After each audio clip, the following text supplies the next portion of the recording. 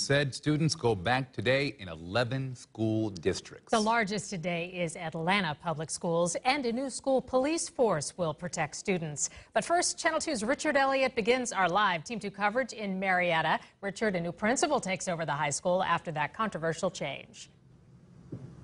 And this is what the high school looks like on the very first day. The uh, 50 year old tradition of toilet papering the front of Marietta High School continued. Last year, about 40 students got in trouble, had a day of in-school suspension for all of this. The Marietta School Board hired Gabe Carmona last year after it removed that principal for Stella Taylor from the job. And he told me he is committed to moving his school forward.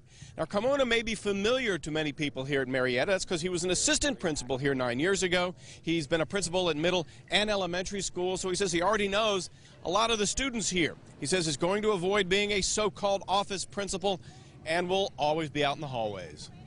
I'm in the business because I love kids and I love teachers who love kids and trying to support them and help them. So doing everything I can to avoid being an office principal.